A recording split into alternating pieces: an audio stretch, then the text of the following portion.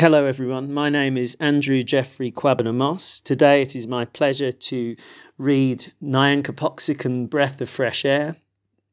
My poem first appeared in the Nombono Speculative Poetry by BIPOC Poets anthology, and that was published by Sundress Publications.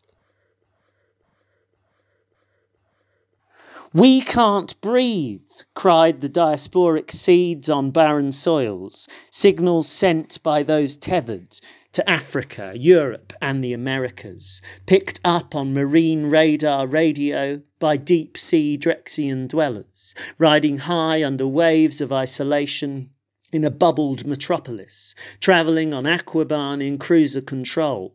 We can't breathe, weak breath signals picked up in Africa, Europe, and the Americas, progeny of those labelled sick and disruptive, thrown off foul scented slave ships on their middle passages. They swam from their mothers' wombs, learning to breathe, to found subaqueous empires and fresh water trajectories, formed deep seated civilizations beneath a vast dark abyss created by transatlantic slavery brave alternative histories. We can't breathe, weak breath signals picked up in Africa, Europe, and the Americas, valiantly escaping through aqua wormholes, enslaved removals evolved into wave jumpers, stingray and barracuda battalions.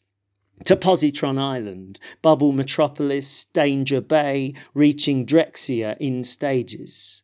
Evolutionary deep black Atlantic Ocean navigation, an aqua zone surrounding isolated archipelago. We can't breathe. Weak breath signals picked up in Africa, Europe, and the Americas. The next Drexciyan quest. Communicate to save land lumbered souls from the prison industrial complex. Colonization, decolonization, institutional racism, post industrialization, macro and micro aggressions, global warming oppression. We can't breathe, weak breath signals picked up in Africa, Europe, and the Americas. They sent sonic invasions from their underwater techno pirate stations, helping those struggling to survive. Adverse, intense climactic changes attacking the mainstream of airwaves, allowing oppressed souls to breathe.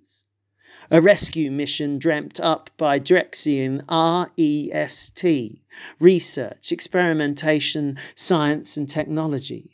New systems to allow breathing were developed in the tropo, stratos, mesos, thermos, and eventually exospheres. Finally, flying, releasing estranged cousins from the effects of transatlantic slavery, breathing, we can breathe in deep sea and space. Terrestrial seabed to exospheric adaptation, travelling dimensional portals, jumping holes at liminal crossroads Neo evolution from Drexciyan to, to extraterrestrial storm weathering, then harnessing. Formation of a single continuous superfield. Hybrid reality, mediating all space, mass, time, and energy. Innovative molecular enhancement technologies, the stolen plotting liberation after surviving, abject global conditioning, deep in the ocean, on land and air, soul survivors regrouping, readying for the journey home, future, wherever we choose to go.